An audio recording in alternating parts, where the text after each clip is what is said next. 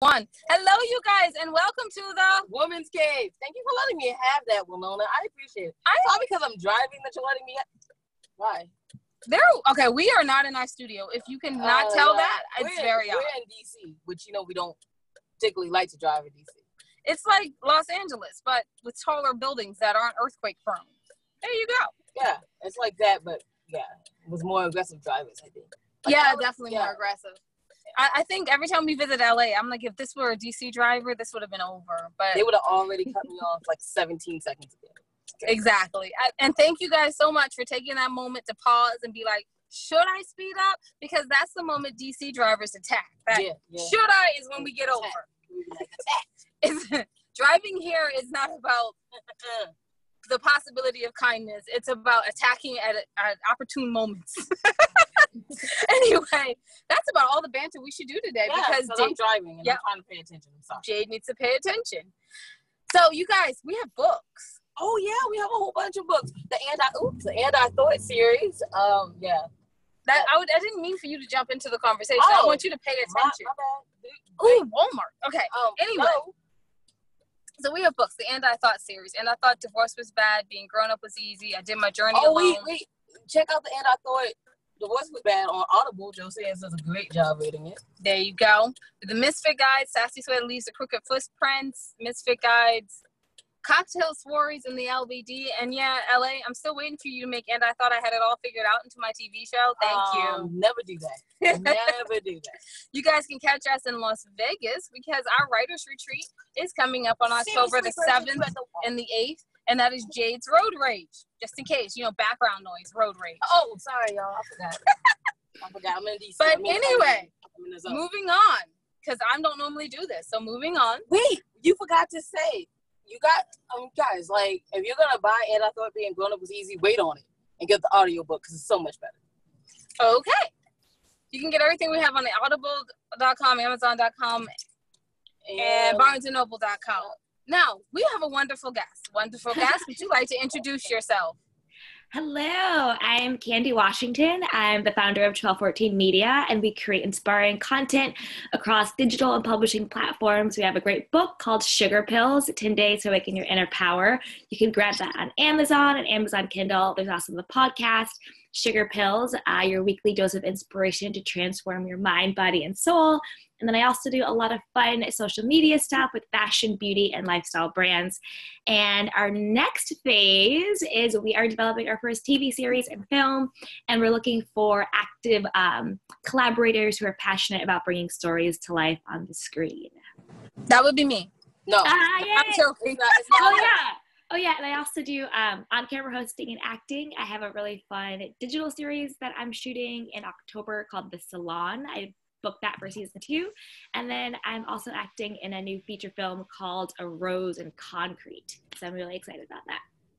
Oh my goodness. You have an amazing life. Okay, so this explains this explains why your website is so awesome. oh, thank you. I do that myself. I taught myself how to code. So Oh my wow. Okay, I need to like most people like they need to get like me. I need to get like you. Go. You can tell that by her website. Yeah, I could tell that by your website. oh, thank you so much. I appreciate it. So, can you tell me how did you get interested into in making content at, at all? Because At right all? now, yeah. yeah. I I actually started like way back in the day before even before influ- the name influencer was a thing. I started with blogspot.com and it was only Facebook. So I was like at home like on holiday between um, school and I was just bored in my room and I was looking at all these different other fashion blogs and I was like, "Oh, I could do this. Like let me just do it." And I had this archaic URL. It was like http colon backslash backslash candywashington.com blogspot.com. It was like it was crazy. But I would just take photos off the internet, didn't know anything about like copyrights, IP, whatever. And I was like, one day when I graduate from school, I'm gonna go to LA and New York and I'm gonna wear this sequin dress and all these events and I'm gonna do fashion and beauty, blah, blah, blah, blah. Which I didn't know at the time, but what I was doing was visualizing and actually manifesting. Um, but I didn't I didn't have that the language for it then, but that's what I was doing. And so I just started doing that. I started posting on Facebook. And this was before Twitter and before Instagram. So I was just like this little girl like getting after it. So that was kind of my introduction to content creation and really having um, social media to be a platform to share my ideas and what I want to do. Uh, can you guys hear me? I hear a little bit of back noise, but if that's not okay. Um, so that's kind of what st- started me on that journey and it was just really having a platform and a community to share things that i love and things that i do and it just took off from there. Oh that sounds amazing. So i'm, I'm assuming you were a fashionista from like way back right so like when you went to school, everyone was like, "Yeah, I need those clothes." yeah, yeah. Like I would style my older. I'm the youngest of five girls, and so I would style my older sisters. I'd be like, "No, no, no, no, no. You're not wearing that to prom. Like, let me get you together." And then um, with my friends, I'm definitely the one they go to. They're like, "What's what's trending now? What's cool? What's awesome? Like, what's fun?" But I actually went to school for philosophy and government. I went to Georgetown, oh. and I was on the pre-law track. I was going to go to law school school. I was going to do uh, entertainment law, but I just sort of realized I didn't really want to be a lawyer. I wanted to play one on TV. so, um, so yeah. So after college, I decided to move to New York, and I worked in fashion at Louis Vuitton, and that was when I really learned about storytelling in a bigger way. So I was the intern at their uh, public relations department, so I had to oversee the showroom. So I had to learn quickly how do I create a visual story. So when the editors come in, I don't have to give them this whole spiel. They can just look at the collection and understand the story of it. So if someone comes in from Elle and they're like, oh, we're doing our Winter Wonderland collection, they obviously see the clothes that will fit into that storytelling. So that's when I really got an education around visual storytelling and then writing storytelling and then how to pitch your ideas for other publications. So that was kind of my trajectory into um, into into actual like fashion and being meaningful and storytelling. And then that's kind of what I see myself as. I see myself as a storyteller and a content creator content creator, whether it's a video on Instagram or a photo or a blog post or my book or acting or hosting. It's all just telling stories in different mediums and forms. Okay, wow. Jay. Wow. Okay, so you just get all the way over. So my question is, as you were doing the visual um, storytelling, is that yeah. what caused you to want to write? No, I was always a writer. So I grew up writing. I grew up writing poetry and plays and just I've always loved writing. So to me, writing was my first form of storytelling. And then once I got into fashion, I realized I could tell stories visually as well. Like think about like visual merchandisers for stores. They tell the story of the store in the window. You know, like Christmas, Christmas time, holidays, you walk down Saks Fifth Avenue and you just see all the visuals in the store. So visual merchandisers, they tell the story of the brand through visual effects. And that's the same thing with like a film. That's why you can have a silent film with no words and still totally understand what it's saying, or like a commercial or an ad or a video or a meme or a GIF. It's just telling that story with the medium and it's given time. And so I really learned like the power of that and how you want to convey like those things through a visual medium. Mm-hmm. So then you were just naturally going to make that leap since you're already like a writer slash screenwriter. You know, if you're writing plays, you're close enough to a screenwriter. and you know, like you got. Well, I I would actually say, um, just to be completely like transparent and vulnerable, no, it was not a natural leap at all. So I wrote plays when I was younger, and that was like fun and great. And like it, they were like Easter church plays, and me and my family would like perform them. It was it was like Madea goes to Easter play. So that was good. But when it came to the craft of screenwriting, that was totally new to me and totally foreign. And I felt very insecure about, I'm not sure if I'm able to write a screenplay because that's a very different beast than writing articles, blog posts, narrative form. Those are two different things. Like I'm great at narrative. I can describe a look or something that happens for like 10 pages and it's just like get on with it. But with screenwriting, it's a very it's a it's a skill set. Like people go to school, people study screenwriting. And I really respect and honor people who are great at their craft. And so I was very nervous to get into it. So I the first thing I did to get into screenwriting to transition from just doing narrative writing was I did coverage for other pe- for other people's scripts. And coverage is basically when you read a script and then you provide back to the author the strengths of the script. Um, its weaknesses where it can improve character breakdowns the synopsis the genre all of that so I wanted to get an education on what the anatomy of script writing was before I just jumped into it. And then I also had to get my own confidence up to say, hey, I'm going to write a screenplay, I'm going to write a script because there there are so many different types of writers and i respect all crafts so i want to make sure that before i'm like hey here's my screenplay pilot you know come invest and work with me on this that i have all of my things in place for that no, it was it wasn't it wasn't as easy as it as it sounds. oh my goodness! But nothing ever is. No, no nothing, nothing worth having. Yeah, that's the trick. Once it looks effortless, you know how much time, energy, sweat, blood, and tears we put into it. That that's absolutely that's I'm, what makes I, people pro. Yeah, I'm 110 percent behind that. Absolutely. Yeah. Yeah, because when people want to do what we do, they're like, "Oh, but you look so cute on like in the pictures." And Girl, she told that story. Bye. She tell that story. so like, okay, Jade wants us to tell us to tell the story. So we went to to England, and people no, were like, never mind. people said, "Oh, you know, oh yes, we want to get interviewed and all this stuff like you guys do." And we're like, "Come on, on this tour with us," and they're like. It's grueling. You guys never look like it's grueling. I said, yes, this is why I have an obsession with coffee because I never Because like what they didn't understand is our day starts at 7 a.m. and ends at 11 p.m. Right. And then you wake up and your day starts at 7 again. And they were like, this is hard. And I was like, they're like, but the pictures, they don't look hard. And I was like, yeah, because pictures are moments. But I didn't say that out loud. Yeah. Uh, well, now we're saying it for the whole world. The pictures are moments. well, well, the picture is really, it's, it's a culmination of all of the work, right? So mm-hmm. to me, so to me, I make it synonymous to like a pro athlete. When you go to like the Lakers game or like the Patriots or like whatever, you know, like your number one team is, when once they're playing at that level, it looks effortless. They're, they're throwing the football, they're doing the basketball, they're doing blah, blah, blah, blah, blah, because it's their job to make it look effortless. But nobody sees the hours of practice, the, the diet they have to go after, the lifestyle, waking up early, like, you know, getting injured and all that stuff the literally hours and hours and hours and hours and hours that goes into that moment of you know the playoff looking effortless on the court you know? So to me i think that's the same thing when it comes to being an entrepreneur being a creative professional. You have so many hours and hours of work dedication training blood sweat and tears that go into making it like oh here's my book.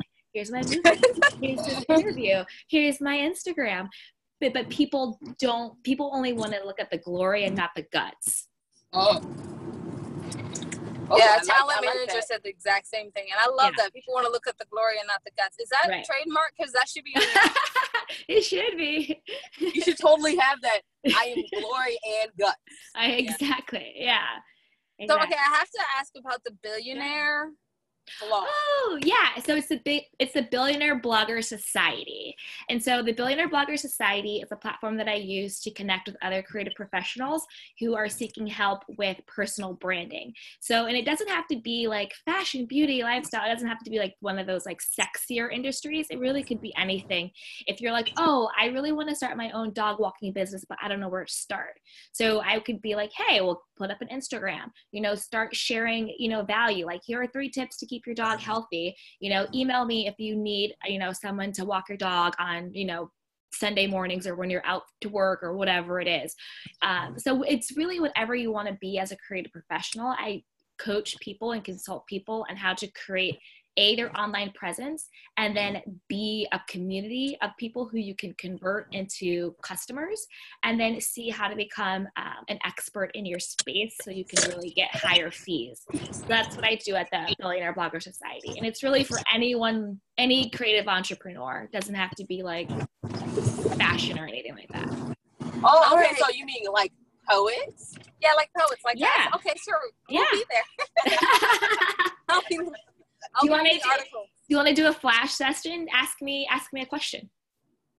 and I and this and this is a total flash because I, I I have no idea like you know what I mean. So if you want to. Okay, so let's see. Um, Don't ask us to do something serious. No. Oh, okay, never mind. um, let me think. Something flashy. Uh, let's see. Personal style for a poet if they have red carpet appearances. Ooh, Personal style for a poet for red carpet appearances, I would say make sure that you have your your brand super tight on what you're offering. So because there's a lot of different types of poets right? You have your sort of like earthy crunchy poets then you have your very like i am a phd professor and this is my poetry that i did after my dissertation. So i think just being really clear on what your brand is and what your brand message is. So think of like you know three or four attributes that des- that describe you as a poet. Um, i always think about um, you know even like a color scheme or animals maybe get like a mood board together. So you know that at each touch point whether it's your website whether it's your instagram whether it's your book cover it's all in sync and cohesive to you as a poet. And then you want to take that and apply that to what you're wearing on the red carpet. Like for me on the red carpet, I usually wear like sequins, leggings, you know, like a little like uh, dress skirt, and that's kind of like my like staple kind of look, kind of like easy beasy boho chic with like a New York twist to it, like a nice leather jacket. So I think this not trying to be over the top and sensational, but just trying to be true to what your brand is. So if you are that crunchy granola poet, you know, maybe you're gonna you're not gonna wear like fur, you're not gonna wear, you know, something super racy. You can wear like a nice like blazer and button up, maybe like a nice pantsuit or whatever. So I think it's just really staying true to your brand and what you're offering without trying to impress anybody else. nice. okay, so um yeah, I know what I'm wearing for the awards next in two weeks. Yeah, exciting. But with that being said, oh with goodness. that being said, don't be afraid to take risk as well, because you're allowed to take risk and evolve. Okay, I'm not gonna lie. Jade, this one time we um we were supposed to secure an invite to a really cool place. Yeah. Yeah. And Jade was like, I'm wearing um, Converse, red Converse with our 1950 style outfit. Okay, it was the freaking Oscars. Will, Will. Wait, Will. it was the Oscars? And she was gonna wear Converse. Uh, okay, there's, there's, a time and a place. and the Oscars was not the time nor the place. I was just tired and had, I had like bronchitis. No, I'm granted You could wear Converse like the People's Choice Awards. Like, well, we're not wearing Converse at the Oscars. No, we want we want to. It was the Oscars dinner. It wasn't that serious it was like an after thing. So yeah, that is bad. So anyway, I was like, you can't do it. And then our manager at the time was like, yeah, she can. And then she gets a silver sharpie and just write your name on it. But we didn't go, so it worked out great. Why didn't you yeah, go? No. Next time, go. Half the battle is showing up. You ain't lying. It is. I'm sorry. So, Let me stop being professional. Let me start start being professional. Okay, no, so where can yourself. people find you on the internet? Yes. So if you want to connect to me, you can head over to candywashington.com and that will give you all of my fashion, beauty, and lifestyle tips. Uh, for the Billionaire Blogger Society, you can head over to thebillionairebloggersociety.com and you can see um, and sign up for my library of free resources. You can get a ton of free resources there and then also book time to consult or coach if that's what you want. And then you can head over to Instagram at Candy Washington, Twitter at Candy Washington, and on Facebook, candy.washington and you can connect with me on all of those platforms. And feel free to email me too if you have any questions at info at candywashington.com. Okay, the reason I differentiated the internet because Jade is over here looking like mm, you're so old. no, because okay. I assumed I assumed you had events coming up where people could see you in person. Oh, that's what you meant. Yeah, no, no, the internet oh. is fine. My second question is where can people see you in person? You have things coming up, right? Where can people see me in person? Um. Okay, never mind. I lied. I thought I saw. Okay, I'm sorry. I thought I saw an event on your website, and I was like, oh. That was probably an event recap, maybe. I'm not sure. Oh, see.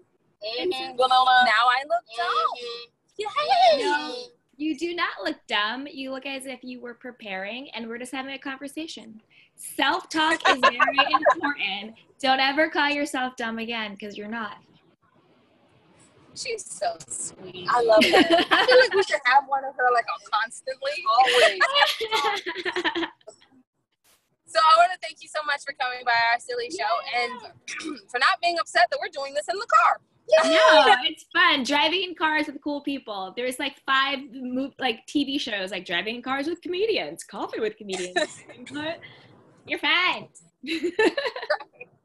So I want you guys to remember that you can catch everything that your ladies are doing at andwethought.com. And when you go to andwethought.com, go to the ladies tab, go to the actually the top of the page now. Oh, what? You redesigned our website? That's exciting. I think I did. Okay, what? I might have been wrong. But anyway, there are the charities that we proudly support. So please, you guys support them too. Add time, money, whatever you can to them, even just educational resources. They will they would appreciate it. Also, yes, since I have the camera. No, come on, please, I'm driving. I have a cop behind me. Can we just please behave ourselves? Oh, never mind. I'm behaving myself. There's a Thank cop. you. Thank you. So you can catch what I normally say at the end of any other episode. so remember that. remember that wisdom is all around you if you're open to finding it and accepting it. So peace and love from Jade, who's driving without the road rage because we're out of the city and we're Winona. Bye bye. Bye.